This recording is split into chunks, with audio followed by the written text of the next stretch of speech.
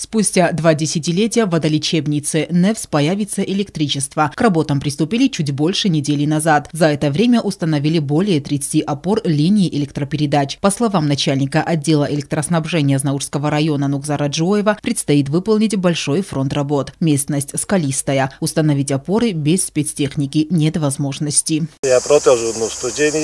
Протяженность дороги от села Метех до водолечебницы 11 километров. В целом понадобится около 200 железобетонных опор. Мы работаем без выходных, чтобы завершить в срок все работы. Техникой нас обеспечивает ЖКХ и ГУП «Энергоресурс». Они также нас обеспечивают и столбами.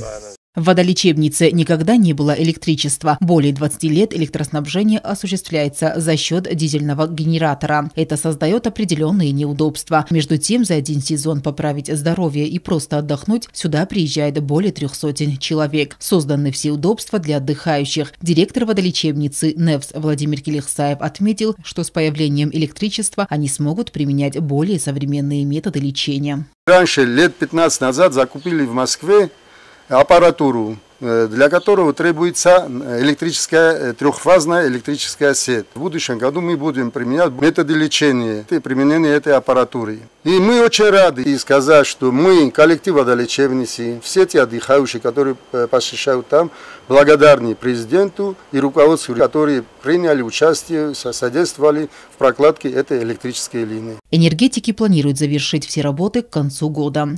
Алена Утаева, Заур Устаев, Зарина Татаева. Информационный выпуск сегодня.